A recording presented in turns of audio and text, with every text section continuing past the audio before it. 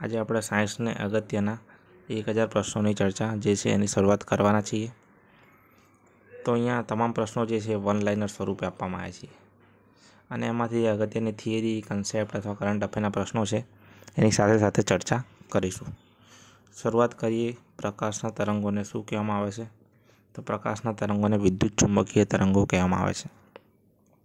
મિત્રો, વિદ્યુત ચુંબકીય તરંગોને ઇંગ્લિશમાં કહેવાય છે ઇલેક્ટ્રોમેગ્નેટિક વેવ ઇલેક્ટ્રોમેગ્નેટિક વેવ જે છે, તાજેતરમાં જ ઈસરોએ એક સેટેલાઇટ લોન્ચ કર્યો હતો, જેનું નામ છે એમિસેટ ઈએમઆઈ એસએટી એમિસેટ જેમાં ઉપયોગ કરવામાં આવ્યો હતો વિદ્યુત ચુંબકીય તરંગોનો. આ એક જાસૂસી ઉપગ્રહ હતો. તેનો હેતુ ખાસ યાદ રાખો, જાસૂસી ઉપગ્રહ એમિસેટ અને એમાં વિદ્યુત ચુંબકીય તરંગોનો ઉપયોગ કરવામાં આવ્યો છે ઇલેક્ટ્રોમેગ્નેટિક વેવ. નેક્સ્ટ છે કિરણોના સમૂહ. કિરણોના સમૂહને કહેવાય છે કિરણપુંજ. ઇંગ્લિશમાં કહેવાય છે beam of light. Beam of light એટલે કે કિરણપુંજ. પછી લેન્સના વક્રતા કેન્દ્રો કેટલા છે? તો લેન્સના વક્રતા કેન્દ્રો બે છે. આના માટે આખી થિયરી યાદ રાખવાની જરૂર નથી. આપણે ઓલરેડી દસમા ધોરણમાં ભણી ગયા છે. અરીસાનું સૂત્ર અને લેન્સનું સૂત્ર એમાં વક્રતા કેન્દ્ર જોવા મળતા હતા. નેક્સ્ટ છે પ્રતિબિંબની ઊંચાઈ અને વસ્તુની ઊંચાઈનો ગુણોત્તર. ને શું કહેવામાં આવે છે? તો એને કહેવામાં આવે છે મોટવણી, એમ. આપણે એમ એટલે મોટવણી યાદ રાખવા કરતાં આપણે ઇંગ્લિશ નામ યાદ રાખીશું. એમ એટલે કે મેગ્નિફિકેશન. હવે મેગ્નિફિકેશન પરથી યાદ આવે આપણને એક આ રીતે એક ગ્લાસ હતો જેને આપણે કહીએ છીએ બિલોરી કાચ. એને કહેવાય છે મેગ્નિફાઇંગ ગ્લાસ. કોઈ પણ નાની વસ્તુને મોટી કરીને જોવાની જે રીત છે એને કહેવાય છે મેગ્નિફિકેશન. અને આ પદ્ધતિનું નામ છે મોટવણી. જેમ કે ઘડિયાળ રિપેર કરનાર વ્યક્તિ જે છે યુઝ કરે છે. મેગ્નિફાઈંગ ગ્લાસ એટલે કે એ ટોટલ યુઝ કરી રહ્યા છે પદ્ધતિ મોટવણીની. નેક્સ્ટ છે લેન્સની કેન્દ્ર લંબાઈના વ્યસ્તને શું કહેવામાં આવે છે? તો એને કહેવામાં છે પાવર અને પાવરનો અહીંયા નીચે એકમ પણ આપી દીધો છે. પાવરનો એકમ છે ડાયોપ્ટર હવે કેન્દ્ર લંબાઈનો વ્યસ્ત, એટલે આનું સૂત્ર શું બનશે એ પણ જોઈ લઈએ. પાવર એટલે કે પી અને અહીંયા કીધું છે વ્યસ્ત. કેન્દ્ર લંબાઈ એટલે એફ એટલે વન અપોન એફ તો પ્રશ્ન પૂછાય કે લેન્સના પાવરનું સૂત્ર જણાવો. તો અહીંયા તમે જોઈ શકો છો. નેક્સ્ટ છે, અંતર્ગોળ લેન્સનો પાવર કેવો હોય છે? અંતર્ગોળ લેન્સનો પાવર જે છે એ ઋણ હોય છે. જો બહિર્ગોળ લેન્સનો પાવર ઓછવામાં આવે, તો એ હશે ધન. પ્રકાશના તરંગોને પ્રસરવા માધ્યમની જરૂર નથી. તો એ કયા તરંગો છે? તો એ છે બિન યાંત્રિક તરંગો કે જેમને માધ્યમની જરૂર નથી. પ્રકાશની શૂન્યાવકાશમાં ઝડપ કેટલી છે? તો પ્રકાશની શૂન્યાવકાશમાં ઝડપ છે ત્રણ ગુણ્યા દસની આઠ મીટર પ્રતિ સેકન્ડ. નેક્સ્ટ છે ઇમેજ એટલે કે પ્રતિબિંબના પ્રકાર કેટલા છે? તો બે છે વાસ્તવિક અને આભાસી. વાસ્તવિક પ્રતિબિંબ ઊંધું દેખાશે જ્યારે આભાસી પ્રતિબિંબ જે છે ચત્તું દેખાશે. અહીંયા મેં કી પોઈન્ટ બનાવ્યા છે, એટલે આપણે ડાયરેક્ટલી કી પોઈન્ટ્સ યાદ રાખવાનું ટ્રાય કરીશું. પ્રતિબિંબના બે પ્રકાર હતા. પછી વક્રતા કેન્દ્રો પણ બે હતા. હવે પરાવર્તનના પણ કેટલા પ્રકાર છે? બે. અને કયા કયા તો? નિયમિત અને અનિયમિત. તો બંને આપણે એકવાર સમજીએ ઉપરથી કે અહીંયા કોઈ એક સપાટી છે. એના પર અહીંયા પ્રકાશ પડે છે. અને પરાવર્તિત થઈ ગયો તો અહીંયા આ રીતે એંગલ બની રહ્યો છે. બરાબર? તો આને આપણે કહીશું નિયમિત પરાવર્તન. કે સપાટી એકદમ સમતલ હોય, એકદમ લીસી હોય, એના પર કેવું પરાવર્તન નિયમિત. પરંતુ માની લો કે અહીંયા ખડ ખરબચડી સપાટી છે. તો એક કિરણ અહીંથી અહીંયા જશે, પછી બીજું અહીંથી અહીંયા જશે. એટલે અહીંયા જો નિયમિતતા જળવાતી નથી. એટલે આ કેવું છે? અનિયમિત પરાવર્તન. તો પરાવર્તનના બે પ્રકાર, નિયમિત અને અનિયમિત. નિયમિતનું ઉદાહરણ લેવું હોય તો આપણે લઈ શકીએ ટેબલ છે. ટેબલ હોય કોઈ ગ્લોસી એના પરથી પ્રકાશ પરાવર્તિત થઈ શકે છે. પરંતુ માની લો કોઈ બુક છે, પુસ્તક. તો પુસ્તક પરથી પરાવર્તન નહીં થાય અને થશે તો અનિયમિત પરાવર્તન થશે. ખરબચડી સપાટીવાળી દરેક વસ્તુમાં અનિયમિત પરાવર્તન જોવા મળશે. નેક્સ્ટ છે બહિર્ગોળ લેન્સ બહિર્ગોળ લેન્સની વિશેષતાઓ અહીં આપી છે. તો સૌથી પહેલાં આંખમાં જે આપણે આઈપીસ છે, એ કયા લેન્સ તરીકે કાર્ય કરે છે? તો એ બહિર્ગોળ લેન્સ તરીકે કાર્ય કરે છે. આ સિવાય બહિર્ગોળ લેન્સમાં જે વસ્તુ રાખવામાં આવે છે, એને શું કહેવામાં આવે છે? તો એને કહેવામાં આવે છે ઓબ્જેક્ટિવ અને અભિસારી અરીસામાં વિવર્ધિત લેન્સમાં મેગ્નિફાઈંગ ગ્લાસમાં અને સાઇડ ગ્લાસમાં ઉપયોગ થાય છે બહિર્ગોળ લેન્સનો. તો આ વેરી ઇમ્પોર્ટન્ટ છે. બહિર્ગોળ લેન્સ એટલે કે જેની બહારની સપાટી જે છે એ પરાવર્તક હોય. અંતર્ગોળ લેન્સ એટલે જેની અંદરની સપાટી પરાવર્તક હોય.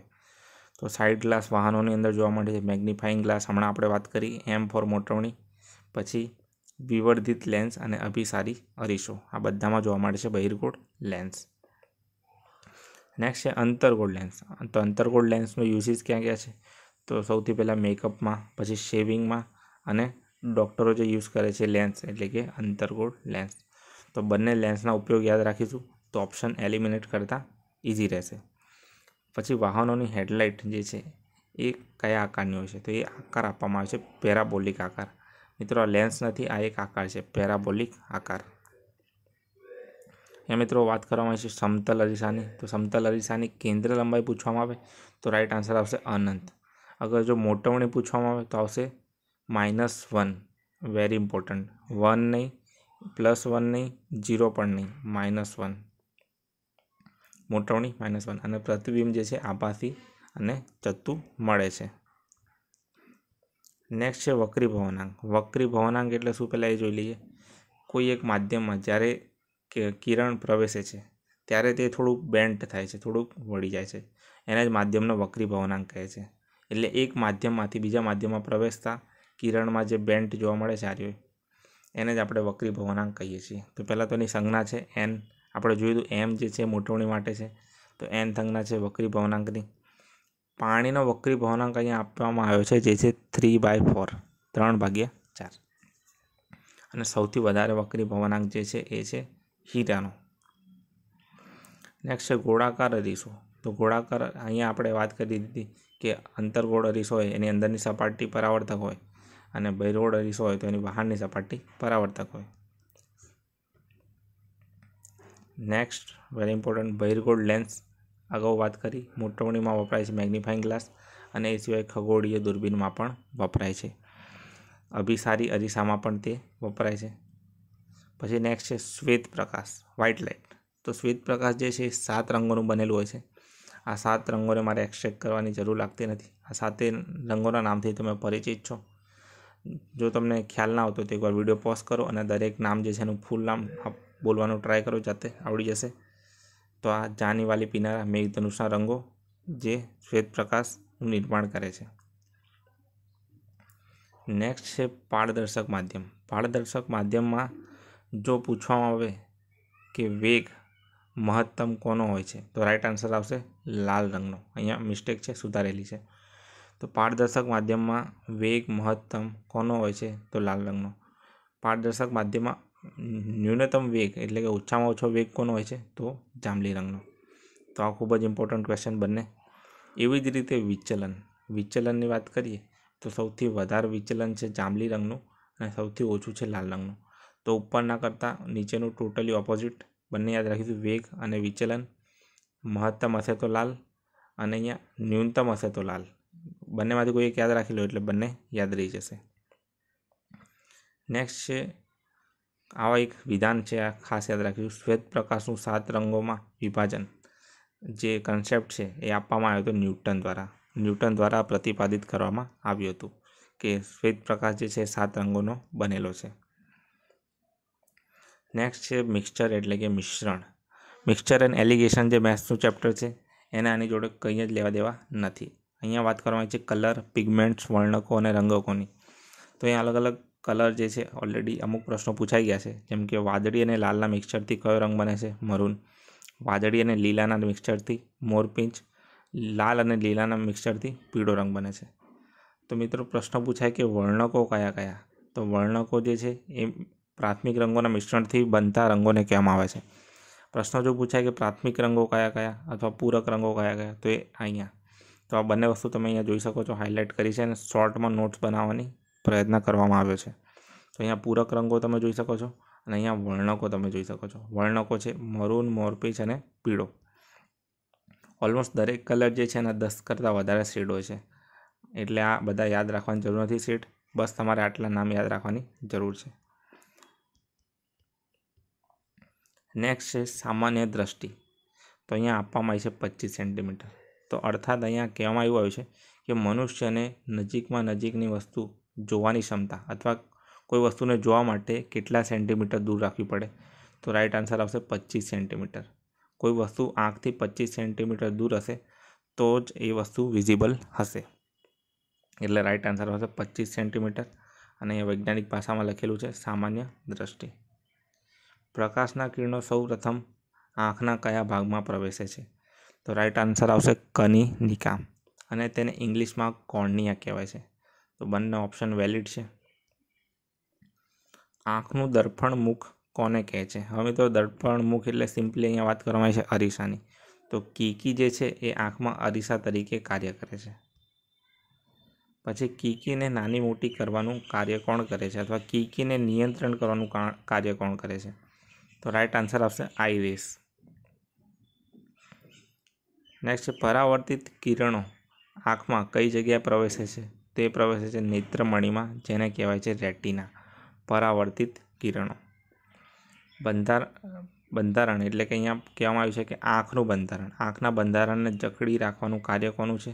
તો એ કાર્ય છે સિલ્લેરી સ્નાયુનું. જે આપણા આંખની હલનચલન છે એ કરે છે સિલ્લેરી સ્નાયુ. પછી જરૂરિયાત મુજબ લેન્સની કેન્દ્ર લંબાઈ ગોઠવવાની ક્ષમતા જે છે એને શું કહેવામાં આવે છે? તેને કહેવાય છે accommodation power of an eye આંખની સમાવેશ ક્ષમતા. ઓકે? કેન્દ્ર લંબાઈ એટલે કે એફ હમણાં આપણે જોયું હતું કેન્દ્ર લંબાઈના વ્યસ્ત એટલે કે વન અપોન એફને શું કહેવાય છે? પાવર પી અને એનો એકમ છે ડાયોપ્ટર ડી નેક્સ્ટ અને વેરી ઇમ્પોર્ટન્ટ આંખની ખામીઓ. આંખની કઈ કઈ ખામીઓ છે? મેઇનલી છે બે. પણ અહીંયા ત્રીજી પણ એડ કરવામાં આવી છે. એક છે, પહેલાં છે લઘુ દ્રષ્ટિ. તો લઘુ દ્રષ્ટિને કહેવાય છે માયોપિયા અને ગુરુ દ્રષ્ટિને કહેવાય છે હાઇપરમેટ્રોપિયા અને પ્રશ્ન એક્ઝામમાં ઘણીવાર એ રીતે પૂછાય છે કે આ ખામીને નિવારવા માટે કયા પ્રકારનો લેન્સ જે છે એ વાપરવામાં છે. તો લઘુ દ્રષ્ટિને ખામી નિવારવા માટે અંતર્ગોળ અને ગુરુ દ્રષ્ટિની ખામી નિવારવા માટે બહિર્ગોળ લેન્સ વાપરવામાં આવે છે. આ સિવાય પ્રેસ બાયોપિયા એટલે કે કેટેરેક્ટ્સ અને ગુજરાતીમાં કહીએ તો મોતિયો તો મોતિયા માટે અથવા એના નિવારણ માટે દ્વિકેન્દ્રી એટલે કે બાયફોકલ લેન્સ વાપરવામાં આવે છે. ધીસ ઇઝ વેરી ઇમ્પોર્ટન્ટ આ બંને પ્રશ્નો પૂછાઈ ગયા છે, પણ આ કંઈક નવું છે. નેક્સ્ટ છે મેઘધનુષ. મેઘધનુષના અમુક ફેક્ટ જે છે અહીંયા એડ કરવામાં આવે છે. પહેલાં તો પાણીના ટીપા જે છે, એનું સૂર્યપ્રકાશ દ્વારા વિભાજન થાય છે. એટલે હવામાં જે પાણીના જે ટીપા રહેલા છે, એમાં બેક સાઇડથી આવતા સૂર્યપ્રકાશ દ્વારા એનું વિભાજન થાય છે. તો પ્રશ્ન પૂછાય છે કે મેઘધનુષમાં એઝ અ પ્રિઝમ તરીકે કોણ કાર્ય કરે છે? ઓપ્શન હોઈ શકે વાતાવરણ, પછી સૂર્યપ્રકાશ, પછી ભેજ અથવા એક પણ નહીં. તો રાઈટ આન્સર આવશે એક પણ નહીં. પાણીના ટીપા જે છે એ સાચો આન્સર છે. ઓકે તો પાણીના ટીપા પ્રિઝમ તરીકે કાર્ય કરે છે. હવે મિત્રો પ્રિઝમ છે શું? તો પ્રિઝમ એક એવી વસ્તુ છે કે જે પ્રકાશને સાત ઘટક રંગો રંગોમાં વિભાજિત કરવાનું કાર્ય કરે છે. તો અહીંયા સૂર્યપ્રકાશનું વિભાજન જે છે પ્રિઝમ કરે છે એટલે કે પાણીના ટીપા. અને આપણને દેખાય છે મેઘધનુષ સ્વરૂપે. પછી એક પ્રશ્ન એમ પણ પૂછાયેલો છે કે મેઘધનુષ કઈ દિશામાં જોવા મળશે તો એ હંમેશા સૂર્યની વિરુદ્ધ દિશામાં જ જોવા મળશે. સૂર્યની વિરુદ્ધ દિશામાં. અને મુખ્યત્વે તે ચોમાસામાં જ જોવા મળે છે, મોન્સૂન. ઓકે? અને આ ઘટના જે છે એને કહેવાય છે ઇન્ટરનલ રિફ્લેક્શન આંતરિક પરાવર્તન અને વક્રીભવન. બંને જોડે થાય છે. મેઘધનુષ્ય. નેક્સ્ટ છે, ભયદર્શક સિગ્નલ તરીકે કયા રંગનો ઉપયોગ થાય છે? તો રાઈટ આન્સર છે લાલ રંગનો. પરંતુ લાલ રંગ જ કેમ? તો અહીંયા રીઝન જે છે ખાસ યાદ રાખીશું. લાલ રંગનું પ્રકીર્ણન જે છે સ્કેટરિંગ ઓફ લાઇટ એ સૌથી ઓછું છે.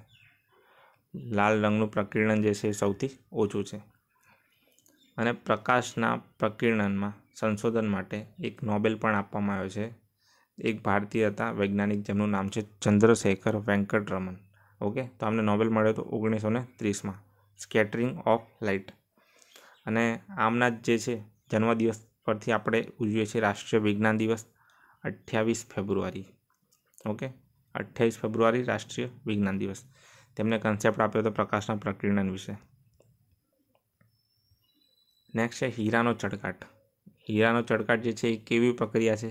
તો એ પ્રક્રિયા છે પૂર્ણ આંતરિક પરાવર્તન, એટલે કે ટોટલ ઇન્ટરનલ રિફ્લેક્શન હવે ટોટલ ઇન્ટરનલ રિફ્લેક્શન એટલે કે પૂર્ણ આંતરિક પરાવર્તન થાય એટલે હંમેશા એક ખૂણો બને, જેને આપણે કહીએ છીએ ક્રાંતિકોણ. અને પ્રશ્ન પૂછાય છે એક્ઝામમાં કે ક્રાંતિકોણના મૂલ્ય જણાવો, તો રાઈટ આન્સર આવશે નેવું. ઓકે તો અહીંયા જોઈ શકો છો, એક, બે, ત્રણ અને ચાર અલગ અલગ પ્રશ્નો એક જ કન્સેપ્ટમાંથી મળી આવે છે. તો હીરામાં જે છે ખૂણાનું મૂલ્ય કેટલું હશે? તો એ છે નાઇન્ટી ડિગ્રી નાઇન્ટી ડિગ્રી હશે તો એ ખૂણો કયો હશે? ક્રાંતિકોણ. ક્રાંતિકોણ હશે તો એ કઈ ઘટના હશે? પૂર્ણ આંતરિક પરાવર્તન એટલે કે ટોટલ ઇન્ટરનલ રિફ્લેક્શન નેક્સ્ટ છે ઓપ્ટિકલ ફાઇબર ઓપ્ટિકલ ફાઇબરનો ઉપયોગ શેના માટે થાય છે? તો થાય છે સંદેશા વ્યવહાર માટે. આના માટે ઘણા બધા ઇન્ટરનેટ આર્ટિકલ અવેલેબલ છે. એકવાર રીડ કરો. ઓનલી ફોર નોલેજ ઓકે બાકી પ્રિલિમ્સ રિલેટેડ કોઈ ક્વેશ્ચન જોવા નથી મળતા. ઓપ્ટિકલ ફાઇબર્સ નેક્સ્ટ છે ઓપ્ટિકલ ઇલ્યુઝન એટલે કે પ્રકાશીય ભ્રમણા. પ્રકાશીય ભ્રમણા જે છે, અલગ અલગ રીતે આપણે જોઈએ છે. અહીંયા બે એક્ઝામ્પલ લીધા છે. એક છે મિરેજ અને એક છે લૂમિંગ તો હંમેશા ગરમ પ્રદેશોમાં જે છે, એ મિરેજ જોવા મળે છે અને ઠંડા પ્રદેશોમાં જે છે, એ લૂમિંગ જોવા મળે છે. તો પ્રકાશીય ભ્રમણા છે શું? સૌથી પહેલાં તો. જેમ કે કોઈ એક રણ છે અને દૂરથી કોઈ એક મુસાફિર જે છે, એ અહીંયા એક પાણીનું તળાવ જોવે છે. તો આ જે તળાવ જે દેખાય છે, એ એકચ્યુઅલી હોતું નથી. છતાં એને દેખાય છે. તો આ જ ઘટના જે છે એને પ્રકાશીય ભ્રમણા કહેવાય છે. જો આ જ ઘટના ઠંડા પ્રદેશોમાં બને તો તેને કહીશું લૂમિંગ અને ગરમ પ્રદેશમાં તેને મિરેજ કહીશું. જેને ગુજરાતીમાં મરીચિકા પણ કહેવાય છે, મૃગજળ. નેક્સ્ટ છે વિદ્યુત ભારના પ્રકાર. આપણો નેક્સ્ટ ટોપિક છે ઇલેક્ટ્રિસિટી, વિદ્યુત ભાર. તો વિદ્યુત ભારના કેટલા પ્રકાર છે? બે, ધન એન્ડ ઋણ. સિમ્પલ. એ જ રીતે આપણે આગળ જોયું પરાવર્તનના પ્રકાર જે હતા બે. બરાબર? વિદ્યુત પ્રવાહના એકમનું નામ જણાવો તો એ છે એમ્પિયર. અને વૈજ્ઞાનિકનું નામ છે એલેક્ઝેન્ડ્રો એમ્પિયર. એલેક્ઝેન્ડ્રો એમ્પિયરના નામ પરથી આપવામાં આવ્યું છે એમ્પિયર. પછી એની સાથે સાથે જ કન્ફ્યુઝન પોઈન્ટ આપી દીધો છે. વિદ્યુત સ્થિતિમાનનો એકમ જણાવો. તો આન્સર આવશે ઓનલી વોલ્ટ અથવા ઓપ્શનમાં વોલ્ટ ના હોય તો જૂલ પર કુલમ એટલે જે બાય સી જૂલ પર કુલમ. તો બંનેમાંથી એક યાદ રાખવાનું છે, વોલ્ટ અથવા જૂલ પર કુલમ, વિદ્યુત સ્થિતિમાન. પછી રાસાયણિક ઉર્જાનું વિદ્યુત ઉર્જામાં રૂપાંતર કરવાની પ્રક્રિયા કોણ કરે છે? કરે છે વોલ્ટાનો કોષ. વોલ્ટા નામના વૈજ્ઞાનિક દ્વારા આપવામાં આવેલો એક બેટરીનો કન્સેપ્ટ હતો, જેને આપણે વોલ્ટાનો કોષ કહીએ છીએ. નેક્સ્ટ છે વિદ્યુત પ્રવાહનું સૂત્ર. ધીસ ઇઝ વેરી ઇમ્પોર્ટન્ટ વિદ્યુત પ્રવાહ બરાબર વિદ્યુત ભાર ભાગ્યા સમય. જેને શોર્ટમાં આપણે યાદ રાખીએ આઈ એટલે કે વિદ્યુત પ્રવાહ, ક્યુ એટલે કે વિદ્યુત ભાર અને ટી ટાઈમ એટલે સમય. તો વિદ્યુત પ્રવાહનું સૂત્ર વિદ્યુત ભાર ભાગ્યા સમય અને એકમ જોયો આપણે, એ ફોર એમ્પિયર. અને વિદ્યુત પ્રવાહના માપન માટે વપરાતા સાધનનું નામ છે એમીટર.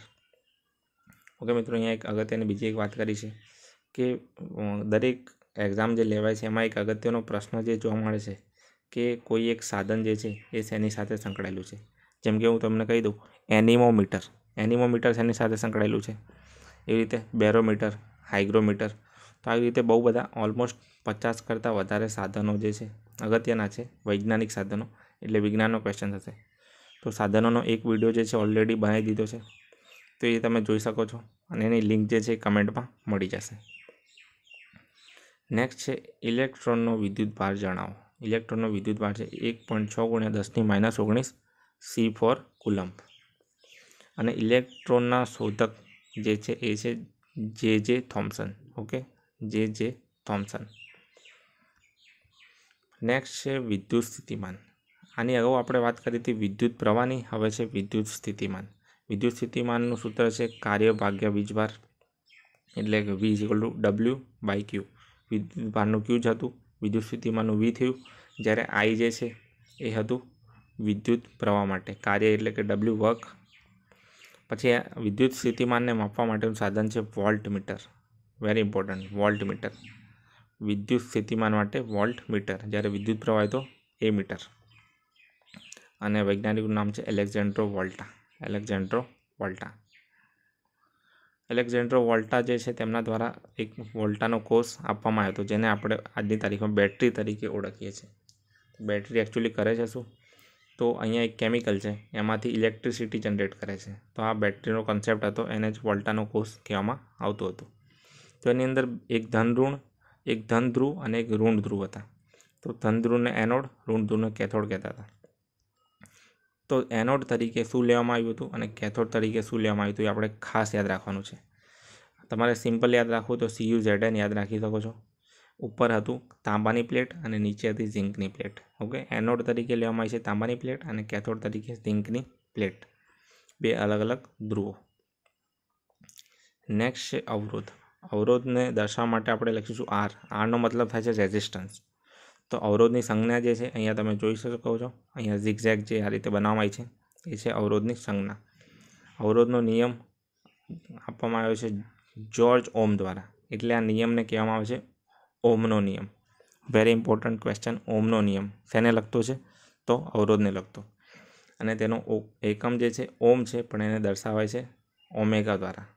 તો આ સિમ્બોલ જે છે, ઓમેગાનો છે. આ આવી જ રીતે અવરોધનો વિરોધી જે છે, એ છે મોહ. મોહને એના કરતાં ઊંધો સિમ્બોલ દર્શાવવામાં આવે છે. ઓમ અને મોહ બંને એકબીજાના વ્યસ્ત. ઓકે, ઓમેગાનો સિમ્બોલ અહીં આપ્યો છે, એકમ. આ સિવાય જો ઓપ્શનમાં ઓમેગા ના હોય, તો વોલ્ટ પર એમ્પિયર જે છે, એ સાચો જવાબ રહેશે. નેક્સ્ટ છે સેમી કન્ડક્ટર્સ સૌથી પહેલાં સેમી કન્ડક્ટર્સ એટલે શું? તો એક હોય છે અવાહકો, એક હોય છે સુવાહકો. અવાહક જે છે એ વિદ્યુતને પસાર થવા દેતા નથી. જ્યારે સુવાહકો જે છે વીજળી કે વિદ્યુતને પસાર થવા દે છે. અને જે થર્ડ કેટેગરી છે એ છે અર્ધવાહકો.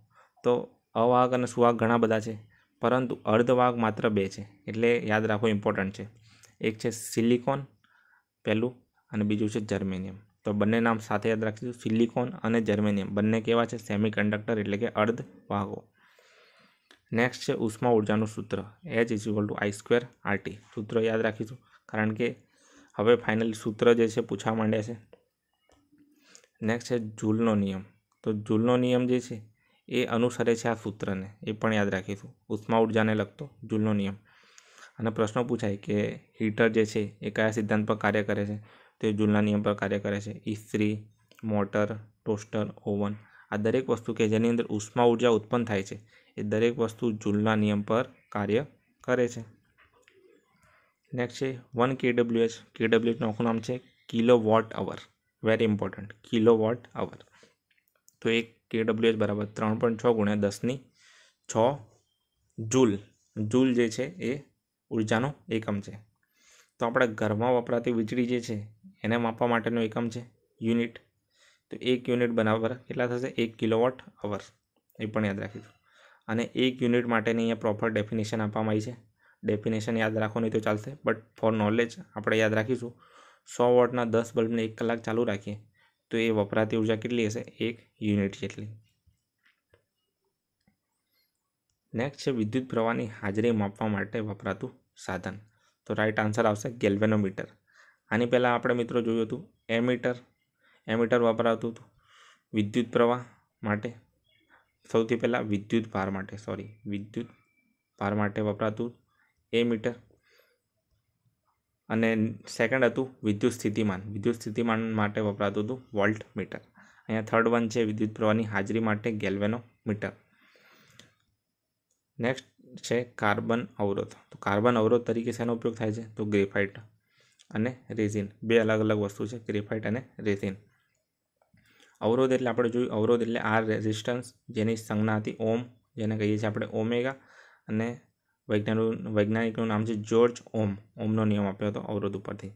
તો કાર્બનનો અવરોધ, જેને કહેવાય છે ગ્રેફાઇટ અને રેઝિનને. નેક્સ્ટ છે, અવરોધક તાર શેમાંથી બને છે? તો નિક્રોમમાંથી. હવે મિત્રો, નિક્રોમને આપણે એક્સ્ટ્રેક્ટ કરીએ તો બે અલગ અલગ વસ્તુ છે. એક છે નિકલ અને એક છે ક્રોમિયમ, નિક્રોમ. નેક્સ્ટ છે વિદ્યુત અવાહક. તો અહીંયા શુદ્ધ પાણીનું નેચર આપવામાં આવે છે. શુદ્ધ પાણી કેવું છે? તો વિદ્યુત અવાહક છે. મિત્રો, સુવાહક નહીં આવે, અવાહક આવશે. નેક્સ્ટ છે મેગ્નેટ એટલે કે ચુંબક. તો ગજ્યા ચુંબકના બે ધ્રુવો છે. એક છે ઉત્તર અને એક છે દક્ષિણ. અને ચુંબકીય ક્ષેત્ર એટલે કે મેગ્નેટિક ફિલ્ડની વાત કરવામાં આવી છે. તો ચુંબકીય ક્ષેત્રનો ખ્યાલ જે છે ઓસ્ટેટ દ્વારા આપવામાં આવ્યો હતો. અને તે એક સદીશ રાશિ છે. અને પ્રશ્ન પૂછાય કે ચુંબકીય ક્ષેત્ર કઈ જગ્યાએ મહત્તમ હોય છે? તો એ ધ્રુવો પર મહત્તમ હોય છે, જેને ઇંગ્લિશમાં પોલ્સ કહેવાય છે. પોલ્સ. રિસેન્ટલી ઇન્ડિયા એકમાત્ર ભારતીયની પસંદગી થઈ છે. એ અલગ ધ્રુવ છે. પણ આપણે વાત કરીએ આર્કટિકની. આર્કટિક ખંડ જે છે, આર્કટિક ખંડ પર એક મિશન જવાનું છે, જેનું નામ છે મોઝેક મિશન. તો આ મોઝેક મિશનમાં એકમાત્ર ભારતીયની પસંદગી થઈ છે, જેમનું નામ છે વિષ્ણુનંદન. નેક્સ્ટ છે ક્રેનનો સિદ્ધાંત. જે આપણે ક્રેન મશીન જોઈએ છીએ, એ શેના પર કાર્ય કરે છે? તો એ વીજ ચુંબક અથવા ઇલેક્ટ્રોમેગ્નેટ, આ બંને, આ ગુજરાતી નામ છે, આ ઇંગ્લિશ નામ છે, એના પર કાર્ય કરે છે.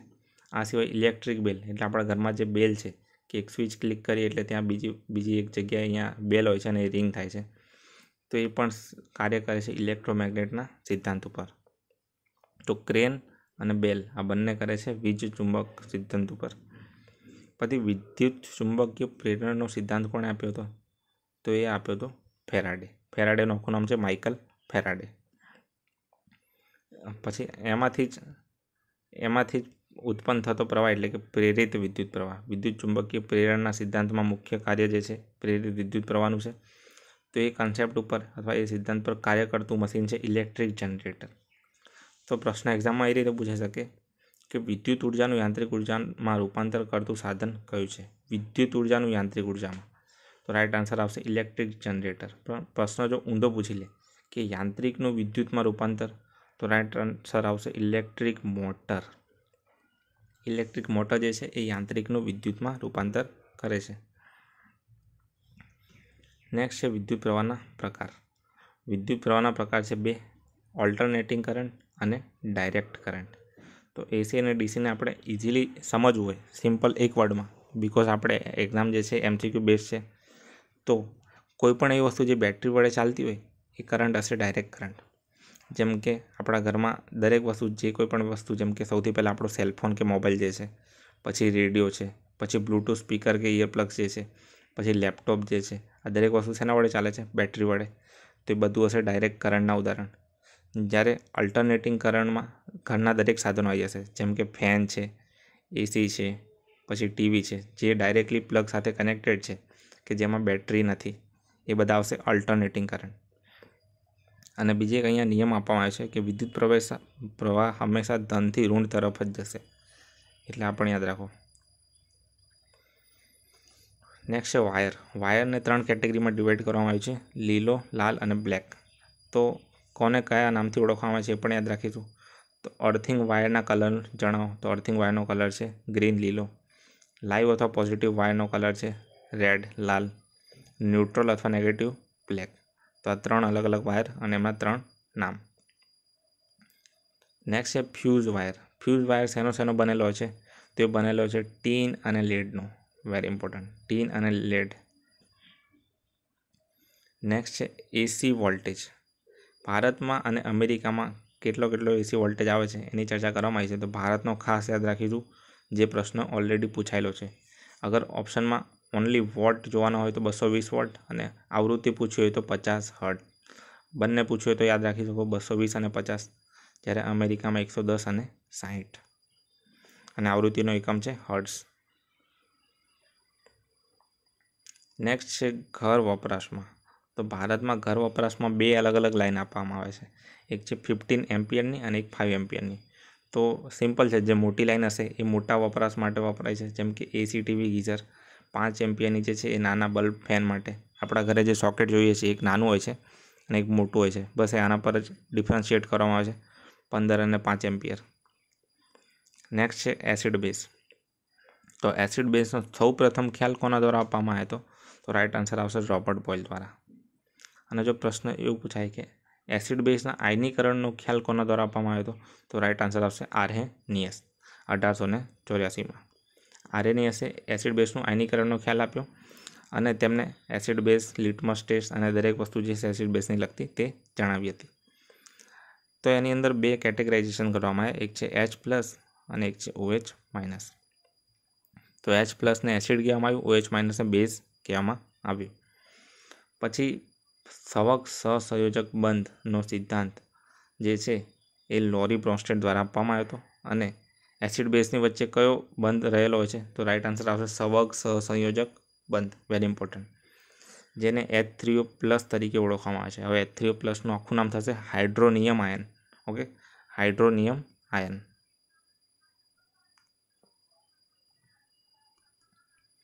Next છે અહીંયા અમુક પ્રક્રિયાઓ આપવામાં આવી છે, યાદ રાખીશું અધાતુના ઓક્સાઇડ પાણી સાથે પ્રક્રિયા કરીને શું બનાવશે? તો એ બનાવશે એસિડ. જો ધાતુના ઓક્સાઇડ પાણી સાથે પ્રક્રિયા કરશે, તો એ બનાવશે બેઝ. એવી જ રીતે પાણીનો ગુણધર્મ કેવો છે? તો પાણી છે ઉભયધર્મી. ઇંગ્લિશમાં એમ્ફોટેરિક. અહીંયા થોડી ગ્લીચ છે, but it is amphoteric. Next છે સંકીર્ણ સારો. સંકીર્ણ સારોના ઉદાહરણ માત્ર બે જ છે. જેના ઉદાહરણ ઓછા હોય એ વસ્તુ યાદ રાખીશું. તો સોડિયમ ઝિંકેટ અને પોટેશિયમ એલ્યુમિનેટ, આ બંને શું છે? સોડિયમ ક્ષારો. ઓકે મિત્રો, અહીંયા એક અગત્યની વસ્તુ ખાસ જણાવવાની ફોર્મ્યુલા અથવા સૂત્રો જે છે, દરેક એક્ઝામમાં પૂછાતા હોય છે કે સીયુ એસઓ ફોર જે છે, એ શેનું સૂત્ર છે. પછી એક હું તમને કહું N A three L F six N A three L F six પછી એક છે એચ એચ એનઓ થ્રી બધા વાકેફ હશે, નાઇટ્રિક એસિડ. તો આવી રીતે ઓલમોસ્ટ પચાસ જેટલા સૂત્રોનો વીડિયો પણ ઓલરેડી આપણે બનાવી ચૂક્યા છીએ. એ પણ તમે એકવાર જોઈ શકો છો. નેક્સ્ટ છે પીએચ માપક્રમની શોધ કરનાર. તો રાઈટ આન્સર આવશે એસપીએલ સોરેન્સન. મનુષ્યમાં દેહ ધાર્મિક ક્રિયા જે થાય છે, એની પીએચ કેટલી હોય છે? તો સાતથી સાત પોઈન્ટ આઠની વચ્ચે. મિત્રો પીએચ જે છે, એના ઇન્વેન્ટર હતા એસપીએલ સોરેન્સન અને પીએચનું આખું નામ થશે પાવર ઓફ હાઇડ્રોજન આ ખાસ ધ્યાન રાખીશું પીએચનું આખું નામ થશે પાવર ઓફ હાઇડ્રોજન એસિડ વર્ષા, એટલે કે એસિડ રેને પીએચ છે પાંચ પોઈન્ટ છ. ખૂબ જ એસિડિક. પછી મિલ્ક ઓફ મેગ્નેશિયા, એનું સૂત્ર છે MG OH twice. Magnesium hydroxide પણ આને કહેવાય છે. પછી ખાવાના સોડા, એનું સૂત્ર છે એનએએચસીઓ થ્રી, એટલે કે સોડિયમ હાઇડ્રોજન કાર્બોનેટ અથવા સોડિયમ બાયકાર્બોનેટ. આના બંને નામ છે, બંને સાચા છે. સોડિયમ હાઇડ્રોજન કાર્બોનેટ અથવા સોડિયમ બાયકાર્બોનેટ. પછી લાઇમનું સૂત્ર છે સીઓ, એટલે કે કેલ્શિયમ ઓક્સાઇડ. જીપ્સમનું છે C A SO four into two H two જેને ગુજરાતીમાં આપણે ચિરોડી કહીએ છીએ. પછી દાંતના બહારનું પડ જે છે, જેને આપણે ઇનેમલ તરીકે ઓળખીએ છીએ. તેને C A three PO four twice કહેવામાં આવે છે, એટલે કે કેલ્શિયમ ફોસ્ફેટ વેરી ઇમ્પોર્ટન્ટ તો અહીંયા અમુક જે પાંચ છ સૂત્રો અગત્યના તે આપ્યા છે એ સિવાય પચાસ કરતાં વધારે સૂત્રો એઝ અ ક્વિક રિવિઝન એકવાર તમે વીડિયો જોઈ શકો છો, એની લિંક જે છે કમેન્ટમાં તમને મળી જશે. નેક્સ્ટ છે જમીન. જમીનના બે પ્રકાર હોય છે. કાં તો એ એસિડિક હોય, કાં તો બેઝિક પણ ખેડૂત જે છે, ખેડૂતને જોઈએ છે ન્યુટ્રલ જમીન, તટસ્થ. નહીં તો એસિડિક કે નહીં તો બેઝિક તો ખેડૂત શું કરશે? એસિડિક જમીનમાં લાઈમ નાખશે. એટલે બનશે ન્યુટ્રલ તટસ્થ બનાવવા માટે. તો પ્રશ્ન પૂછાય કે એસિડિક જમીનને તટસ્થ બનાવવા માટે ખેડૂત તેમાં શું ઉમેરે છે? તો લાઈમ ઉમેરે છે. અને બેઝિક જમીનમાં જીપ્સમ જેનું સૂત્ર હમણાં આપણે જોયું હતું, ચિરોડીનું. નેક્સ્ટ છે, કીડીના ડંખમાં કયો એસિડ રહેલો છે? તો એ આવશે ફોર્મિક એસિડ અને મધમાખીના એસિડમાં મેલેટીન રહેલો છે. તો મેલેટીન જે છે એ કોઈ એસિડ નથી. જો અહીંયા ઇન પ્રત્યે લાગે છે ઇન એટલે આ એક એસિડ છે, ટોક્સિક એસિડ. સોરી પ્રોટીન છે, ટોક્સિક પ્રોટીન. અહીંયા અગત્યના પીએચ મૂલ્યો આપ્યા છે, તો આ પીએચ મૂલ્યો યાદ રાખીશું. શુદ્ધ પાણીનું પીએચ છે સાત, દરિયાના પાણીનું પીએચ છે આઠ પોઈન્ટ પાંચ અને લોહીનું પીએચ છે સાત પોઈન્ટ ચાર. વેરી ઇમ્પોર્ટન્ટ પીએફ સ્કેલ જે છે એ આ રીતે હોય છે. એમાં જીરોથી લઈને ચૌદ સુધીના આંકડા હોય છે અને અહીંયા વચ્ચે સેવન છે. તો આ રહ્યો આગળનો પાર્ટ છે, એ છે એસિડિક અને આ છે બેઝિક જેમ જેમ આવા જે બેઝિસિટી વધતી જાય, આમ જઈએ તો એસિડિટી વધતી જાય. તો આટલા પાર્ટની અંદર જે કોઈ પણ નંબર હશે જીરોથી સાત, એ બધા હશે એસિડ આ બાજુ હશે, એ હશે બેઝ પરંતુ જે વચ્ચે સેન્ટરમાં હશે, તે હશે ન્યુટ્રલ તટસ્થ, એટલે કે શુદ્ધ પાણી, ઉભય ગુણધર્મી એમ્પોથેરિક. અહીંયા થોડાક અગત્યના એસિડ્સ કે જેના નામ અપાયા છે વૈજ્ઞાનિક. તો વિનેગર જે છે, એનું આખું નામ થશે એસિડિક એસિડ દહીંમાં એસિડ રહેલો છે લેક્ટિક એસિડ એટલે એકચ્યુઅલી આ વર્ક કઈ રીતે કરે છે? તો સૌથી પહેલાં લેક્ટેસ જે છે લેક્ટેસ લેક્ટેસ દૂધમાં રહેલું છે લેક્ટોસ એનું રૂપાંતર થાય છે લેક્ટેસમાં અને તેનું વિઘટન થાય છે લેક્ટિક એસિડમાં વેરી ઇમ્પોર્ટન્ટ લીંબુમાં હોય છે સાઇટ્રિક એસિડ યાદ રાખો, દરેક ખાટી વસ્તુમાં સાઇટ્રિક એસિડ હોય છે. જેમાં વિટામિન સી મળી રહે છે. સાઇટ્રિક એસિડ એટલે કે વિટામિન સી. પછી આંબલી એટલે કે ટાર્ટરિક એસિડ અને ટમેટામાં ઓક્ઝેલિક એસિડ. નેક્સ્ટ સ્ટીલ સાનું સાનું બનેલું છે. તો સ્ટીલ આયન અને કાર્બન એટલે કે એફી એટલે આયન અને કાર્બન એટલે C Fe plus C stainless steel સાનું બનેલું છે પ્રશ્ન ચેન્જ થઈ ગયો. તો ત્રણ વસ્તુ આવશે. અહીંયા કાર્બન નહીં આવે. ત્રણ વસ્તુ, આયન, નિકલ અને ક્રોમિયમ. આયન એટલે એફી નિકલ એટલે એનઆઈ ક્રોમિયમ એટલે સીઆર પછી બ્રાસ જે છે, એ સાનું બનેલું છે, તો એ છે સીયુ પ્લસ ઝેડ કોપર અને ઝિંક. અને બ્રાસનો ઉપયોગ શેમાં થાય છે? તો વાસણ બનાવવા અને સંગીતના સાધનો બનાવવા માટે. નેક્સ્ટ છે મેગ્નેલિયમ શાનું બનેલું હોય છે. તો મેગ્નેલિયમ બનેલું હોય છે એલ્યુમિનિયમ અને મેંગેનીઝ. બંને સંધિ છૂટી કરતાં આપણને મળે છે. મેગ્નેલિયમમાં, એલ્યુમિનિયમ અને મેંગેનીઝ. પછી કાંસુ જે છે એ બનેલું છે કોપર સીયુ ટીન બંનેનું. કોપર અને ટીનનું અને એનો ઉપયોગ થાય છે પૂતળા અને મેડલ બનાવવા માટે. આર્યુ સુપર ઇમ્પોર્ટન્ટ ડુરાલ્યુમિન. ડુરાલ્યુમિન જે છે આ ધાતુ એરક્રાફ્ટમાં વપરાય છે. એરક્રાફ્ટ અને પ્રેશર કુકરમાં એટલે એની મજબૂતી સૌથી વધારે છે. પછી મેગ્નેલિયમ. મેગ્નેલિયમનો ઉપયોગ થાય છે વૈજ્ઞાનિક તુલા. અને સિક્કા કોઇન્સ બનાવવા માટે. નેક્સ્ટ છે બિયરની પદ્ધતિ. તો બિયરની પદ્ધતિ જે છે આખી થિયરી યાદ રાખવાની આપણને જરૂર નથી. પરંતુ એમાંથી જે આપણને બાય પ્રોડક્ટ મળે છે યાદ રાખીશું. એમાંથી આપણને મળે છે એલ્યુમિના. જો પ્રશ્ન એમ પૂછવામાં કે એલ્યુમિનામાંથી એલ્યુમિનિયમ મેળવવાની પદ્ધતિને શું કહેવાય છે? તો એ પદ્ધતિ છે હોલ હેરાઉલ્ડ પદ્ધતિ. તો બંને અલગ અલગ પ્રશ્નો થઈ ગયા. કે એલ્યુમિના મેળવવાની પદ્ધતિ કઈ? તો બિયર પદ્ધતિ. એલ્યુમિનિયમ મેળવવાની પદ્ધતિ તો હોલ હેરાઉટ પદ્ધતિ, ઓકે. અને અહીંયા એનું ગલન બિંદુ ત્રેવીસ અડતાલીસ કેલ્વિન આપવામાં આવ્યું છે. નેક્સ્ટ છે, હિમેટાઇટનું રિડક્શન કરતાં આપણને શું મળે છે? તો આપણને મળે છે આયન. રિડક્શન એટલે કોઈપણ ધાતુને ઊંચા તાપમાને ગરમ કરીએ તો તે તેનું રિડક્શન થયું કહેવામાં આવે છે. તો આ રિડક્શન જે છે, એ કરતાં આપણને મળે છે આયન. આવી બે પ્રક્રિયાઓ છે, ઓક્સિડેશન અને રિડક્શન. ઝિંકનું સ્તર ચડાવેલ લોખંડને શું કહેવામાં આવે છે? તેને કહેવામાં આવે છે ગેલ્વેનાસ્ટ આયન આનો પ્રશ્ન જે છે ઓલરેડી પૂછાઈ ગયો છે. અને આ પ્રશ્ન જે છે, ફેરવીને પૂછવામાં આવેલો છે. જેમ કે, ગેલ્વેનાઇઝિંગ આયન અથવા ગેલ્વેનાઇઝ્ડ આયનમાં શેનું સ્તર ચડાવવામાં આવે છે? વેરી ઇમ્પોર્ટન્ટ તો ઝીંકનું સ્તર ચડાવવામાં આવે છે. ગ્રીન કલરનું ઝીંકનું સ્તર ચડાવવામાં આવે છે. અને આ પ્રક્રિયાને શું કહેવામાં આવે છે? તો આ પ્રક્રિયાને ગેલ્વેનાઇઝેશન કહેવામાં આવે છે. ઓકે અગાઉ મેં આ પ્રશ્ન પૂછ્યો હતો. જે છે ક્રાયોલાઇટનું સૂત્ર N A three ALF six okay N A three ALF six તો આવી જ રીતે સૂત્રોનો જે છે ફોર્મ્યુલાનો વીડિયો, એ તમે એકવાર જોઈ લો. ખ્યાલ આવી જશે. દરેક સૂત્રો જે છે ડીપમાં લખાવ્યા છે. એક ગ્રામ સોનામાંથી કેટલો લાંબો તાર બની શકે? ખાલી અહીંયા લેન્થ આપાઈ છે ટેન થાઇલ ટુ કિલોમીટર એટલે આ યાદ રાખીશું ખાલી. ગલન બિંદુ આયનનું અઢાર બાર કેલ્વિન આયન એટલે કે લોખંડ એફી ઓકે, લોખંડનું કાટનું સૂત્ર જણાવો. લોખંડના કાટનું સૂત્ર છે Fe two O three into X H two O એટલે કે ફેરિક ઓક્સાઇડ નેક્સ્ટ છે હાઇડ્રોજનની શોધ કોણે કરી હતી? તો હાઇડ્રોજનની શોધ કરી હતી હેનરી કેવન્ડિસે સત્તરસો છાસઠમાં. મિત્રો, વીડિયો પોઝ કરીને મને તમે જણાવો, ઓક્સિજનની શોધ કોણે કરી હતી? કમેન્ટ્સમાં નીચે મને જણાવો, ઓક્સિજનના શોધક કોણ હતા? હવે અમુક પદ્ધતિ જે છે આપણે યાદ રાખવાની છે. પહેલાં આપણે જોયું કે બેયર પદ્ધતિ જે છે એનો ઉપયોગ થાય છે એલ્યુમિનિયમ મેળવવા માટે. પરંતુ એલ્યુમિનિયમ મેળવવા માટે ઉપયોગ થાય છે હોલ હેરોલ્ડ પદ્ધતિનો. તો એવી રીતે હેબર પદ્ધતિનો ઉપયોગ થાય છે એમોનિયા મેળવવા માટે. એમોનિયા એટલે N S three, N two plus H two is two N H three. Equation યાદ નથી રાખવાની, યાદ રાખવાનું છે ઓનલી સૂત્ર એન થ્રી. પછી ઓસવાલ્ડ પદ્ધતિથી મળે છે આપણને નાઇટ્રિક એસિડ. તો નાઇટ્રિક એસિડ મેળવવા માટેની પદ્ધતિ છે ઓસવાલ્ડ. અને નાઇટ્રિક એસિડનું સૂત્ર છે એચ એનઓ થ્રી. ફ્રાસ્ટ પદ્ધતિથી આપણને મળે છે સલ્ફર એસ. સલ્ફરનું ગલનબિંદુ છે થ્રી એટી એટ કેલ્વિન. અને સલ્ફરનો ઉપયોગ થાય છે રબરના વલ્કેનાઇઝેશનમાં. Very important. ગેલ્વેનાઇઝેશન જે જોયું હતું આપણે, જે કાટ ખા, કોઈ પણ વસ્તુ કાટ ખાતું હોય તો એને બચાવવા માટે ગેલ્વેનાઇઝેશન કરીએ છીએ લોખંડને. અને એમાં વપરાય છે ઝિંકનું. અગર રબરનું વલ્કેનાઇઝેશન કરવાનું પૂછાય તો આવશે સલ્ફર. પછી આ સિવાય દારૂખાનાના બનાવટમાં પણ સલ્ફરનો ઉપયોગ થાય છે. તો આ પણ યાદ રાખીશું. બીજી એક વસ્તુ મિત્રો કમેન્ટમાં મને જણાવો કે રિસેન્ટલી હમણાં દિવાળી ગઈ. તો જે ગ્રીન ક્રેકર્સ એટલે કે ગ્રીન ફટાકડાની વાત કરવામાં આવી હતી. તો ગ્રીન ફટાકડામાં કયું તત્વ અથવા કેમિકલ વપરાય છે? કમેન્ટ્સમાં જણાવો.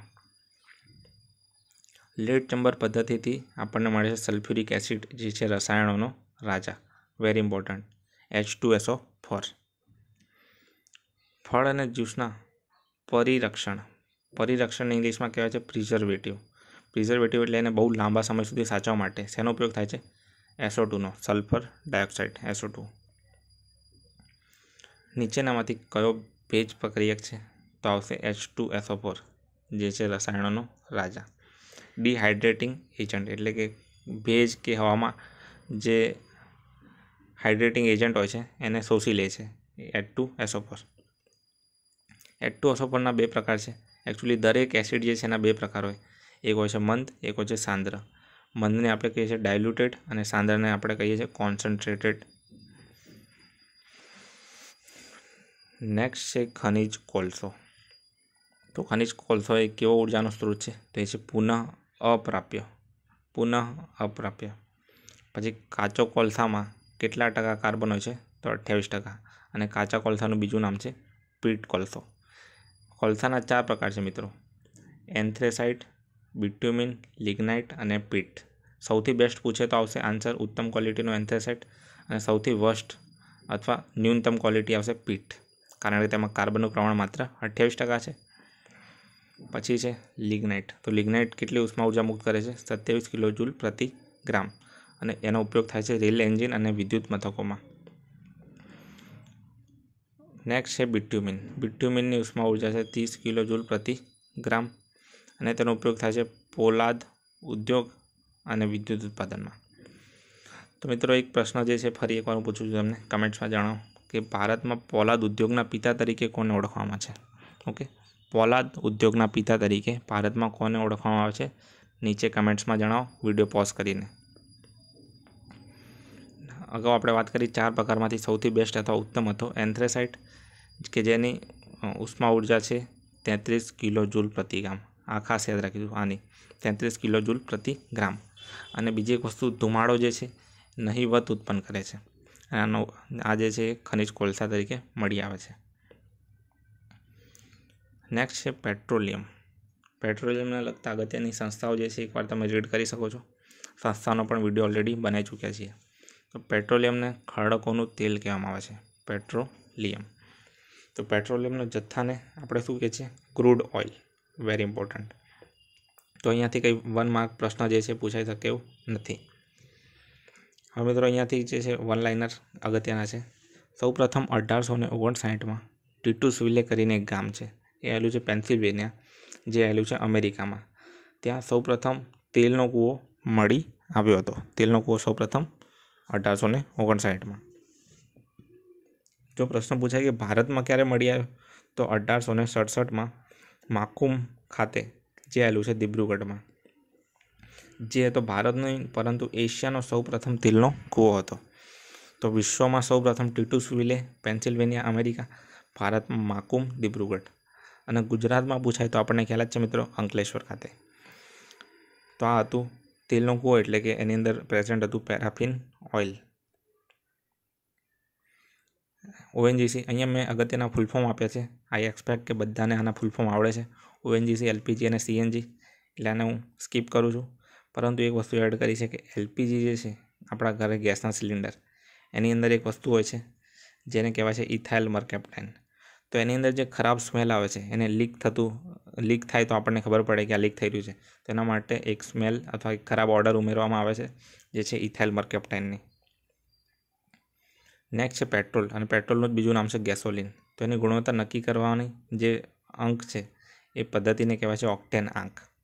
ઓકે? ઓક્ટેન આંક. અને પેટ્રોલમાં અઢાર ટકા સોરી ખનિજ તેલમાં અઢાર ટકા જે છે, એ ગેસોલિન રહેલો છે. વેરી ઇમ્પોર્ટન્ટ ખનિજ તેલ એટલે કે જમીનમાંથી મળી આવતું તેલ જે છે ક્રૂડ ઓઇલ એમાં અઢાર ટકા ગેસોલિન રહેલો હોય છે. હવે આપણે યાદ રાખીશું એક વસ્તુના અલગ અલગ ચાર નામ. તો સૌથી પહેલાં માર્સ ગેસ, ગોબર ગેસ, સુએજ ગેસ અને બાયોગેસ. અને સીએચ ફોર જે સૂત્ર જે છે, એ સૂત્ર છે મિથેનનું. વેરી ઇમ્પોર્ટન્ટ મિથેનનું સૂત્ર છે marsh gas, gobar gas, sewage gas અને બાયોગેસ. આ ચારે ચાર નામ છે મિથેનના. ઓકે કોઈ પણ એક પૂછાય કે આ કોનું સૂત્ર છે, તો એ સૂત્ર આવશે મિથેનનું. નેક્સ્ટ ટેટ્રા ઇથાઇલ લેડ આનું સૂત્ર આપવામાં આવ્યું છે PBC two H three tetra. તો આ સૂત્ર યાદ રાખીશું અને આ ઉમેરવામાં આવે છે પેટ્રોલની અંદર, જેના કારણે તેનું ઓક્ટેનાંકમાં વધારો થાય છે. અને આપણે જોયું હતું ઓક્ટેનાંક શું છે? તેની ગુણવત્તા નક્કી કરવા માટે વપરાતો એક આંક. નેક્સ્ટ છે, વિશ્વમાં પ્રથમ પોલિથીન બનાવનાર કંપની, તો એ હતી આઈસીઆઈ ઓગણીસો ને તેત્રીસમાં લંડનની કંપની દ્વારા આઈસીઆઈ પછી એક પ્રક્રિયા આપવામાં આવી છે, જે છે બહુલીકરણ. બહુલીકરણ અને પોલિમરાઇઝેશન શું છે આપણે સમજીએ સૌથી પહેલાં? તો ઇથિન જે છે, ઇથિનના બહુ બધા અણુઓ, બહુ બધાની કહી હું અહીંયા વાત કરીશ, અનંત, અનિશ્ચિત અણુઓ બધા ભેગા થાય છે. અને આ જે ચેન જે છે, ઇન્ફાઇનાઇટ ચેન, એ કન્ટિન્યુઅસ ચેન આપણે એન વડે રિપ્રેઝેન્ટ કરીએ. તો આ ચેન બને છે, એને જ આપણે કહીએ છીએ પોલિમરાઇઝેશન. ઇથિનના બહુ બધા અણુઓ એકબીજા સાથે પ્રક્રિયા કરીને જે છે, એક ચેન બનાવે છે અને બની જાય છે અંતે પોલિથીન. બરાબર? તો પ્રશ્ન પૂછાય કે પોલિથીનનો મુખ્ય ઘટક કયો? તો રાઈટ આન્સર આવશે ઇથિન નેક્સ્ટ છે પેટ્રો રસાયણમાં કોનો ઉપયોગ થાય છે? તો આવશે એસિટિલિનનો. અને એસિટિલિનનું જ બીજું નામ છે ઇથાઇન ઓકે? ઇથાઇન એ જ એસિટિલિન છે. આ સિવાય ઓક્સી એસિટિલિન જે છે, એનો ઉપયોગ થાય છે વેલ્ડિંગમાં. આ એક એક જોત છે જે વેલ્ડિંગમાં આપણે જોઈએ છીએ ઓક્સી એસિટિલિન પછી બે અગત્યના, એબ્રિવિએશન, પીવીસી અને પીએન, પોલીવિનાઇલ ક્લોરાઇડ અને પોલીએક્રિલો નાઇટ્રેલ. પછી પરમાણુના સમૂહને શું કહે છે? તે કહેવાય છે ક્રિયાશીલ સમૂહ. નેક્સ્ટ છે પાંચ ટકા. ઓકે અહીંયા ધ્યાન રાખજો મિત્રો, નવ નથી, પાંચ ટકા. પાંચ ટકા પાણી ધરાવતું ઇથેનોલ દ્રાવણ કયા નામથી ઓળખાય છે? તો એ આવશે રેક્ટિફાઈડ સ્પિરિટ. પાંચ ટકા પાણી ધરાવતું ઇથેનોલનું દ્રાવણ. ઓકે એટલે અહીંયા ઇથેનોલનો ભાગ જે છે એ પંચાણું ટકા હશે, જેને આપણે રેક્ટિફાઈડ સ્પિરિટ કહીએ છીએ. અને જો સો ટકા ઇથેનોલ હોય, તો એને આપણે એબ્સોલ્યુટ આલ્કોહોલ કહીએ છીએ. Absolute alcohol. પછી નેક્સ્ટ છે, જે દારૂ પીવાથી યકૃતમાં એક એન્ઝાઇમ ઉત્પન્ન થાય છે. તો આ એન્ઝાઇમનું નામ શું છે? તો જે લોકો દારૂનું સેવન કરે છે, તેમના યકૃતમાં એક એન્ઝાઇમ ઉત્પન્ન થાય છે, જેનું નામ છે પી ચારસો પચાસ. હવે આ પી ચારસો પચાસ જે છે, એ આવા માદક દ્રવ્યોનું સેવન કરવાની ઈચ્છા વધારે છે. તો એન્ઝાઇમનું નામ યાદ રાખ્યું હતું પી ચારસો પચાસ. અને તેના માટે એક દવા પણ છે જે છે ડાયસલ્ફી રેમ નેક્સ્ટ છે અલગ અલગ પ્રક્રિયક. તો ટોલેન્સ પ્રક્રિયક વપરાય છે રજત દર્પણ કસોટીમાં. ફેલિંગ પ્રક્રિયક વપરાય છે ફેલિંગ કસોટીમાં. મિથેનાલનું જલીય દ્રાવણ કયા નામથી ઓળખાય છે? તે ઓળખાય છે ફોર્મેલિન મિત્રો, અહીંયા મિથેનાલ છે. મિથેનોલ નથી. મિથેનાલ છે. પછી આ તો ઇઝી છે બધાને ખ્યાલ છે. નેલ પોલિશ રિમૂવ કરવા માટે આપણે એસિટોન અથવા પ્રોપેનોન બંને એક જ નામ છે યુઝ કરીએ છીએ. પરંતુ અહીંયાનું સૂત્ર જે છે આપવામાં આવ્યું છે. ખાસ યાદ રાખીશું. CH three CO CH three અને પ્રોપેનોન અથવા એસિટોન બનાવવાની પદ્ધતિને આપણે કહીએ છીએ ફિશર ટ્રોપ્સ પદ્ધતિ. ઓલરેડી આપણે ડિસ્કસ કરી ચૂક્યા છીએ ફિશર ટ્રોપ્સ પદ્ધતિ. પછી કાર્બોક્સિલિક એસિડ અને આલ્કોહોલના મિશ્રણને શું કહીએ છીએ આપણે? એસ્ટરીકરણ.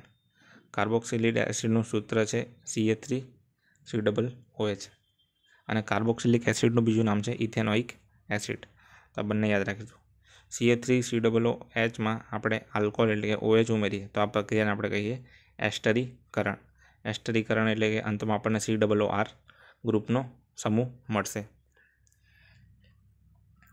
અઢારસો ત્રાણુંમાં સૌ પ્રથમવાર ચાર્લ્સ ગુડિયરે રબરનું વલ્કેનાઇઝેશન કર્યું હતું.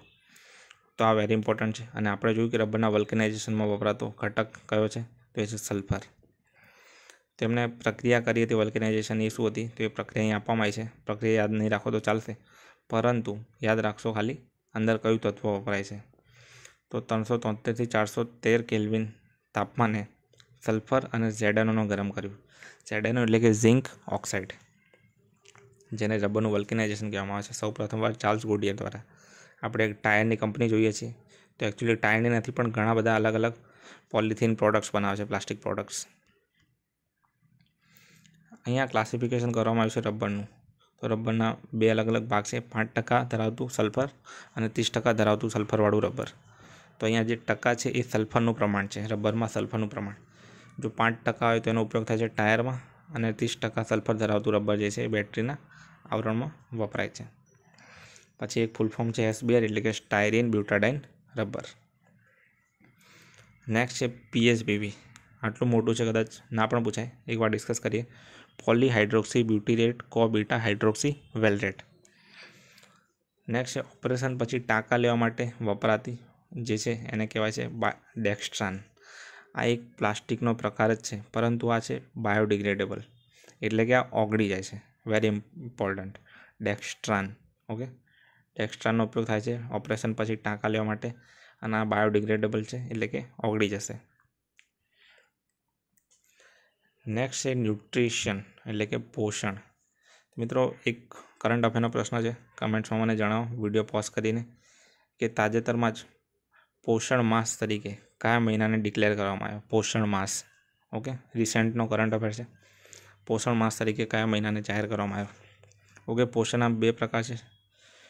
સ્વાવલંબી, પરાવલંબી. સ્વાવલંબીના ઉદાહરણ, યુગલીના વોલ્વોક્સ બેક્ટેરિયા, પરાવલંબીના ફૂગ અને પ્રાણીઓ.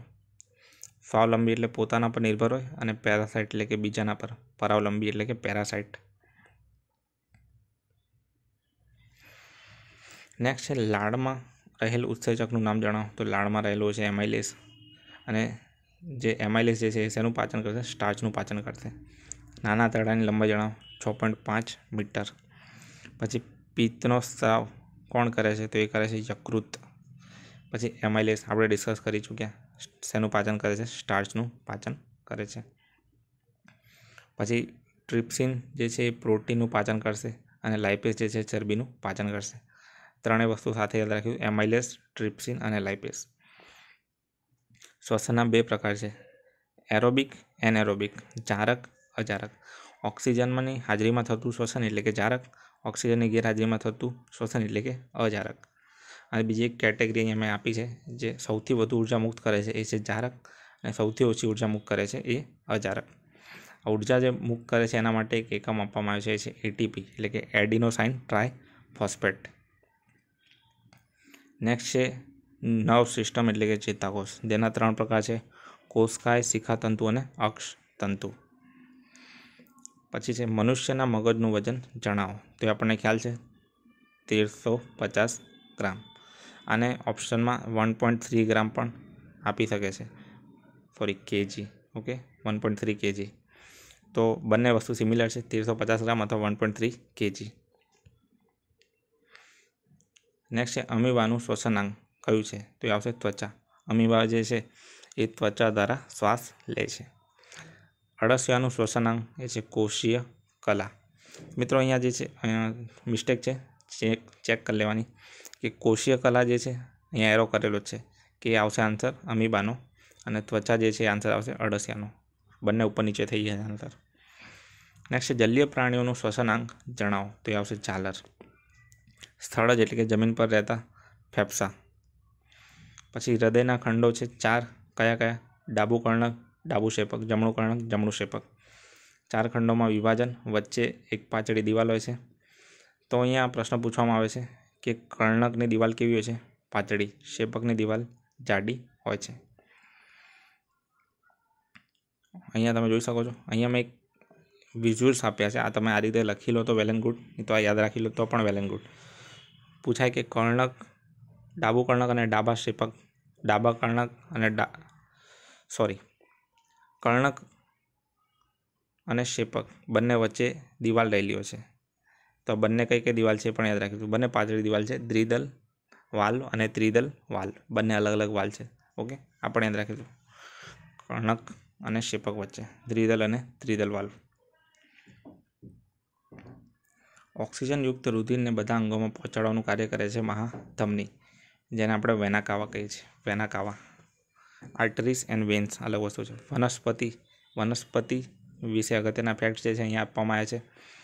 સૌપ્રથમ ખનિજ તત્વોનું વહન કરનાર જે છે અંગ, એનું નામ છે જલવાહક, એટલે કે ઝાયલેમ ઇંગ્લિશ નામ પણ સાથે યાદ રાખીશું. પાણી અને ખનિજ તત્વોનું વહન કરનાર અંગ જલવાહક વનસ્પતિમાં. અને કાર્બનિક પદાર્થોનું વહન કરશે અન્નવાહક, એટલે કે ફાઇલેમ. સાયલેમ ફાઇલેમ, જલવાહક અને અન્નવાહક. પછી અગત્યના એકમ યુનિટ, એક કેલેરી બરાબર ચાર પોઈન્ટ અઢાર જૂલ, એક કિલો કેલેરી બરાબર એક હજાર કેલેરી. પછી એચજી એટલે કે મર્ક્યુરીનો ઉપયોગ થાય છે થર્મોમીટરમાં અને તેની મેક્સિમમ ત્રીસથી ત્રણસો પચાસ ડિગ્રી લિમિટ હોય છે. પછી પ્લેટિનમનો પણ ઉપયોગ થાય છે થર્મોમીટરમાં, પણ એ થર્મોમીટર અલગ હોય છે, જેની લિમિટ હોય છે બસોથી બારસો ડિગ્રી. આ સિવાય મર્ક્યુરી સિવાય આલ્કોહોલ જે છે હોય છે એનો પણ ઉપયોગ કરી શકાય છે થર્મોમીટરમાં. પછી સ્પેસિફિક હીટની વાત કરવામાં આવી છે વિશિષ્ટ ઉષ્મા ઉર્જાની તો પાણીની સ્પેસિફિક હીટ છે બેતાલીસ જૂલ કિલોગ્રામ પર કેલ્વિન. જ્યારે ઓરમ ઓરમ એટલે કે સોનું, સોનાની છે એકસો ત્રીસ. પાણીની બેતાલીસો અને સોનાની છે એકસો ત્રીસ. પછી વાતાવરણમાં સૌથી વધુ પ્રમાણ કયા વાયુનું હોય છે? તો આપણને ખબર છે seventy eight percent N two એટલે કે નાઇટ્રોજન રહેલો છે. પછી મનુષ્યના શરીરમાં સૌથી વધુ કયા વાયુનું પ્રમાણ હોય છે? તો એ છે ઓક્સિજન. સિમ્પલ. પછી મનુષ્યના શરીરમાં સૌથી વધુ પ્રમાણમાં ધાતુ કયું હોય છે? તો એ છે કેલ્શિયમ એટલે કે આપણા બોન્સ, હાડકા, ઓ. પછી મિત્રો નેક્સ્ટ જમીનની વાત કરવામાં આવી છે. તો જમીનમાં સૌથી નિતારણ શક્તિ વધુ હોય તેવી જમીન રેતાળ જમીન અને ભેજ ધારણ શક્તિ વધુ તેવી જમીન કાપાળ જમીન. પછી નેક્સ્ટ એક ટન કાગળ બનાવવા માટે કેટલું પાણી જોઈએ છે? તો ત્રણસો ટન પાણી જોઈએ છે એક ટન કાગળ બનાવવા માટે. પછી પર્યાવરણના બે પ્રશ્નો. વિશ્વ પક્ષી દિવસ આઠ મે અને વન્ય પ્રાણી દિવસ બીજી ઓક્ટોબર. બંને વેરી ઇમ્પોર્ટન્ટ તો બીજો એક અહીંયા હું પ્રશ્ન પૂછું તમને કે જાણીતા પક્ષીવિદ છે સલીમ અલી. તો તમે જણાવો સલીમ અલી બર્ડ સેન્ચુરી કઈ કઈ જગ્યાએ આવેલી છે? સલીમ અલી બર્ડ સેન્ચુરી કમેન્ટ્સમાં જણાવો. પડઘા પાડવા માટે ઓછામાં ઓછું અંતર કેટલું હોવું જોઈએ? અગિયાર મીટર. આની પહેલાં આપણે જોયું હતું કોઈપણ વસ્તુને જોવા માટે અંતર કેટલું હોવું જોઈએ? પચીસ સેન્ટીમીટર. તો બંને અલગ પ્રશ્નો. પછી વિશ્વ પાણી દિવસ, જે છે બાવીસ માર્ચ. પછી નેક્સ્ટ છે, ત્રિભુવન ગજ્જર વેરી ઇમ્પોર્ટન્ટ ત્રિભુવન દાસ ગજ્જરનો જન્મ થયો હતો સુરત ખાતે. તેમને યોગદાન આપ્યું હતું છાપકામ માટે અને આ સિવાય પ્લેગની દવા, આયોડિન ટર્કલોરાઇડમાં પણ તેમને યોગદાન આપ્યું હતું. તો આ યાદ રાખીશું, પ્લેગની દવાના શોધક આયોડિન ટર્કલોરાઇડ આ દવાનું નામ. આ સિવાય આપણે એક દવાની ચર્ચા કરી જે હતી, જે માદક પદાર્થ કે દ્રવ્યનું સેવન કરે એના માટે ડાયસલ્ફીરેમ અને એન્ઝાઇમ હતો પી ચારસો પચાસ. પછી ચુંબકની શોધ કયા દેશમાં થઈ? તો એ થઈ હતી ગ્રીસમાં. ગ્રીસમાં એક જગ્યા છે મેગ્નેશિયા. ત્યાંથી મળી આવ્યું હતું મેગ્નેટ. પછી ચુંબક, લોખંડ સિવાય. ચુંબક જે છે એ લોખંડ સિવાય બીજી કયા ધાતુ સાથે અથવા આકર્ષે છે? બીજા કયા ધાતુને આકર્ષે છે? તો ચુંબક જે છે કોબાલ્ટ અને નિકલ, સીઓ અને એનઆઈ આ બંનેને આકર્ષે છે. નેક્સ્ટ ચુંબકના ધ્રુવો આપણે જોઈ ગયા. બે નોર્થ એન્ડ સાઉથ ઉત્તર અને દક્ષિણ. તો બંને, બંનેમાં ખાલી ફરક એટલો જ છે કે સમાન ધ્રુવો હોય બંને, તો એ બંને અપાકર્ષણ હશે બંને વચ્ચે અને બંને અસમાન હશે તો બંને વચ્ચે આકર્ષણ હશે. વેલક્રોની શોધ કોણે કરી હતી? તો જોર્જ મસલે પછી બીજના સમૂહને સાચવી રાખો, રાખતું આવરણ કોને કહેવામાં આવશે તો એ કહેવાય છે સિંગને. સિંગને ઘણીવાર સીમ બ કહેવાય છે, મ અને બ. તો આ પણ જોઈ શકો છો તમે, સીમ, બ. બંને વસ્તુ સેમ જ છે. એટલે આપણે યાદ રાખો સિમ્બ પછી નેક્સ્ટ છે, છોડ. કોને કહેવાય છે અને વૃક્ષ કોને કહેવાય છે? પર્ટિક્યુલર વ્યાખ્યા. તો પાંચ ફૂટથી વધારે ઊંચાઈ હોય તો છોડ અને પંદર ફૂટથી વધારે ઊંચાઈ હોય તો વૃક્ષ. નેક્સ્ટ છે, મૂળતંત્ર. બે પ્રકાર છે, સોટીમય અને તંતુમય. ડેફિનેશન યાદ રાખવાની જરૂર નથી. ચંદ્ર પર સૂર્યનો પ્રકાશ જે છે, અહીંયા મિત્રો એક વસ્તુ સમજીએ. સૂર્ય છે, અહીંયા ચંદ્ર છે અને અહીંયા પૃથ્વી છે. તો આજે ચંદ્રનો જે પ્રકાશ આવે છે, એ બધું સૂર્યનું રિફ્લેક્શન છે. તેનો કેટલા ટકા ભાગ પૃથ્વી પર પહોંચે છે? તો એ માત્ર સાત ટકા ભાગ જ પૃથ્વી પર પહોંચે છે. પછી અહીંયા સિમ્પલ કન્સેપ્ટ આપવામાં આવે છે કે પ્રકાશ પસાર થાય તો એને આપણે પારદર્શક કહીએ છીએ. ના થાય તો અપારદર્શક અને અંશત એટલે કે થોડોક જ થાય તો પારભાષક કહીએ છીએ. નેક્સ્ટ છે ઉષ્માનું સંચરણ. ઉષ્માનું સંચરણ જે છે, ઘન પદાર્થમાં ઉષ્મા વહન તરીકે ઓળખાય છે. અને પ્રવાહી પદાર્થમાં ઉષ્માનયન તરીકે ઓળખાય છે. ઓકે? સંચરણ એટલે પ્રોપોગેશન આગળ વધવું. નેક્સ્ટ છે હવા. હવાને લગતા આપણે ફેક્ટ જોઈ લીધા already nitrogen seventy eight percent oxygen twenty one carbon dioxide zero point zero three અને બાકી બધા નોબલ ગેસીસ પછી વિશ્વ વન દિવસ એકવીસ માર્ચ અને પાણી દિવસ બાવીસ માર્ચ. અગેન રિપીટ શરીરને ગરમી પૂરી પાડનાર જે છે એ ચરબી છે. કમેન્ટમાં મને જણાવો, ચરબીનું પાચન કોણ કરે છે? ઓકે, આપણે આની આગળ ચર્ચા કરી હતી, પ્રોટીનનું પાચન, ચરબીનું પાચન, સ્ટાર્ચનું પાચન. તો ચરબીનું પાચન કોણ કરે છે? કમેન્ટ્સમાં જણાવો. જૈવિક ક્રિયાઓનું નિયમન કોણ કરે છે? તો એ કરે છે પ્રોટીન. અને આપણી જે ત્વચા હોય છે, એની અંદર રહેલું હોય છે મેલેનિન. ઓકે, મેલેનિન એક પ્રોટીનનો પ્રકાર છે. અંતઃસ્રાવના બંધારણ માટે ઉપયોગી છે પ્રોટીન. હાડકાના બંધારણ માટે ઉપયોગી છે ફોસ્ફરસ. અથવા કેલ્શિયમ, અથવા આપવામાં આવ્યું છે. જો ઓપ્શનમાં કેલ્શિયમ હોય, તો એ આન્સર સાચો હશે. અથવા ઓપ્શનમાં ફોસ્ફરસ હશે, તો એ આન્સર સાચો હશે. બંનેમાંથી કોઈ એક. પછી પેશી અને માંસના ઘડતર માટે જરૂરી છે સલ્ફર. ઓકે. નેક્સ્ટ છે વનસ્પતિ. તો વનસ્પતિને આધાર આપવાનું કાર્ય કરે છે. પ્રકાંડ ખોરાકનું વહન કરે છે અન્નવાહિની અને જલદ્રવ્યોનું વહન કરે છે જલવાહિની. બાષ્પોસર્જનની ક્રિયા કરે છે પર્ણરંધ્રો. અગત્યના full form. TDS total dissolve solid. PPM parts per million. પછી આદર્શ પાણીનું જે માપન હોય છે, એ છે જીરોથી પચાસ પીપીએમ. જે આરો જે આપણા ઘરે સિસ્ટમ છે, એનું આખું નામ છે રિવર્સ ઓસ્મોસિસ. આ સિવાય મિત્રો, દરિયાના પાણી, ખારા પાણીને મીઠું બનાવવા માટે એક પ્લાન્ટ વપરાય છે, જેને કહેવાય છે ડેસિલેશન પ્લાન્ટ. ફળોની ખેતી માટે વપરાય છે માટલા પિયત પદ્ધતિ. અને પાણીનું સૌથી વધા, સૌથી વધુ બગાડ થાય છે ખોરિયા પિયત પદ્ધતિમાં. બંને યાદ રાખીશું. નેક્સ્ટ કોષની શોધ કરનાર રોબર્ટ હુક. અને કોષ જે છે, સજીવની રચનાનું મુખ્ય ઘટક છે. કોષમાં ચાલતી પ્રક્રિયાનું નિયમન કોષ કેન્દ્ર કરે છે. કોષની જૈવિક ક્રિયાઓનું કેન્દ્ર છે કોષ રસ. અને કોષમાં પદાર્થનું વહન કરે છે કોષ રસ પટલ. વેરી ઇમ્પોર્ટન્ટ કોષમાં પ્રોટીનનું સંશ્લેષણ કરે છે રાઇબોઝોમ્સ અથવા રિબોઝોમ્સ અને પાચન ક્રિયા કરે છે લાઇસોઝોમ્સ તો આ બંને કન્ફ્યુઝ ના થતા. પ્રોટીનનું સંશ્લેષણ અથવા સિન્થેસિસ ઓફ પ્રોટીન કરે છે રિબોસોમ અને પાચન કરે છે ડાયજેશન લાઇસોસોમ નેક્સ્ટ છે કોષનું પાવર હાઉસ ગુજરાતીમાં ઉર્જાઘર, જેને કહેવાય છે કણાપસૂત્ર એટલે કે માઇટોકોન્ટ્રિયા ઓકે માઇટોકોન્ટ્રિયા કોષના સમૂહને પેશી કહે છે અને પેશીના સમૂહને અવયવ એટલે કે ઓર્ગન્સ કહે છે. કોષ, પેશી, અવયવ.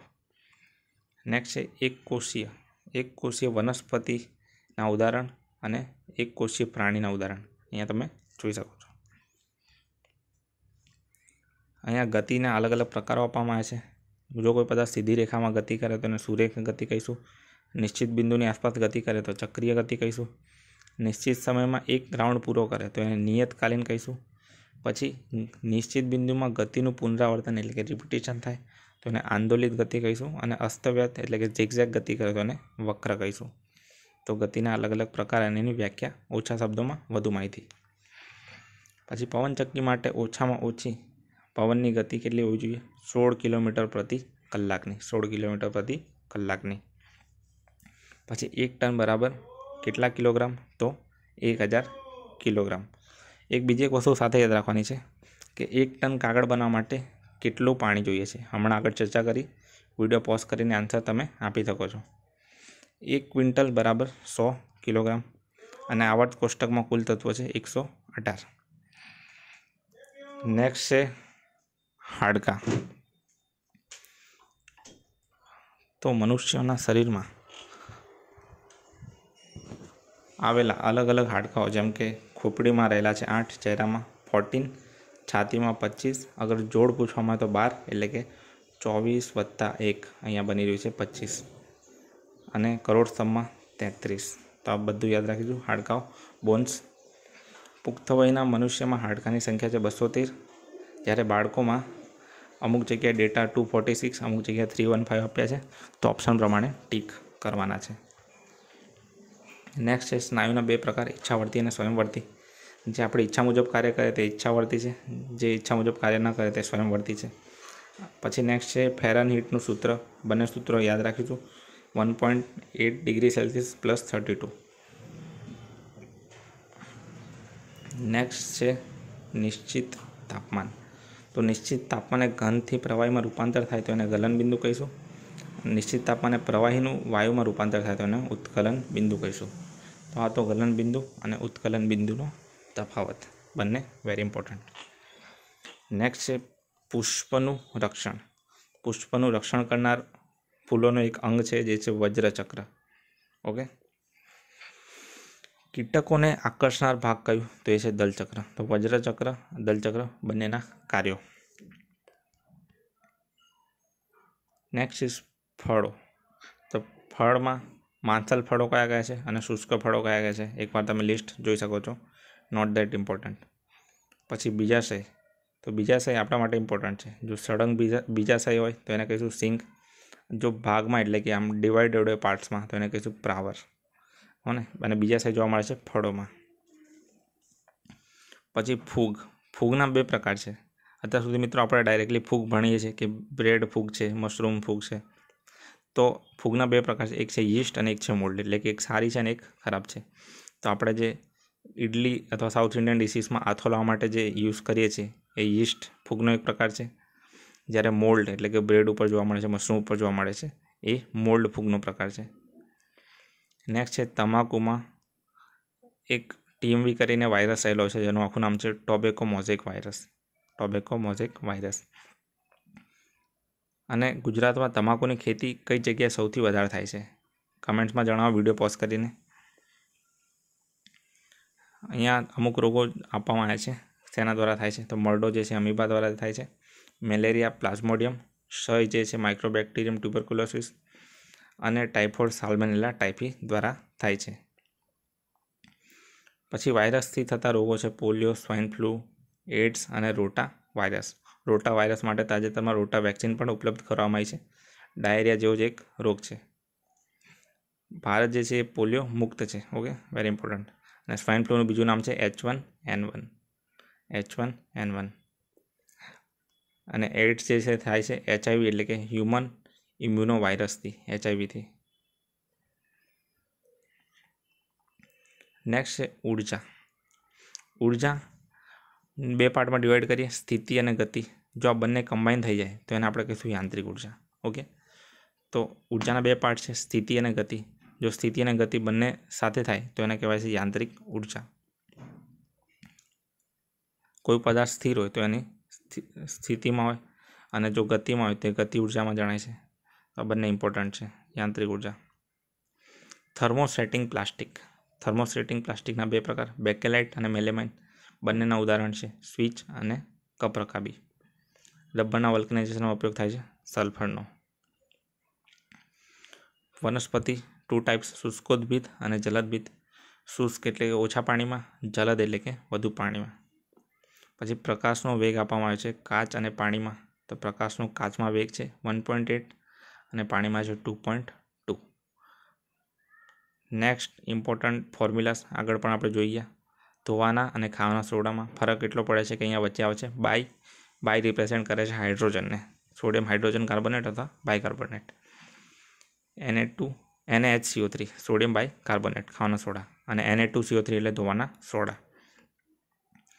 પરમાણુનો કેન્દ્રાંશ શું કહે છે? ન્યુક્લિયસ. અને ન્યુક્લિયસના બે પ્રકાર છે, પ્રોટોન અને neutron.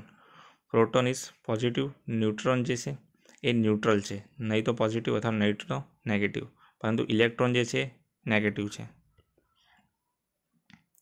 દિવાસળી શેમાંથી બને છે? તો દિવાસળી બને છે રેડ ફોસ્ફરસ એટલે કે લાલ રંગના ફોસ્ફરસમાંથી પછી ઉંદર મારવાની દવા કહેવામાં આવે છે ઝેડએનપી એટલે કે ઝિંક ફોસ્ફાઇડને, ઉંદર મારવાની દવા ઝિંક ફોસ્ફાઇડને. પછી અનાજની જાળવણી માટે વપરાતું કેમિકલ છે એલ્યુમિનિયમ ફોસ્ફાઇડ. તો ત્રણ કેલ, ત્રણ અલગ અલગ કેમિકલ્સ, ત્રણ ઉપયોગો. પ્રબળ ભેજ શોષક છે ફોસ્ફરસ પેન્ટોક્સાઇડ. ઓકે, મને વીડિયો પોઝ કરીને બીજી એક વસ્તુ જણાવો કે રિસેન્ટલી ઇલેક્શન થઈ ગયા. ઇલેક્શનમાં આપણા જે નેલ ઉપર એક શાહી માટે વપરાતું કેમિકલ હતું, શાહીમાં જે વપરાતું કેમિકલ હતું, એનું નામ શું છે? એનું ફોર્મ્યુલા તમને જણાવી દઉં એ છે એજી એનો થ્રી. ઓકે? આનું નામ તમારે જણાવવાનું છે. ઇલેક્શનમાં યુઝ થયું છે.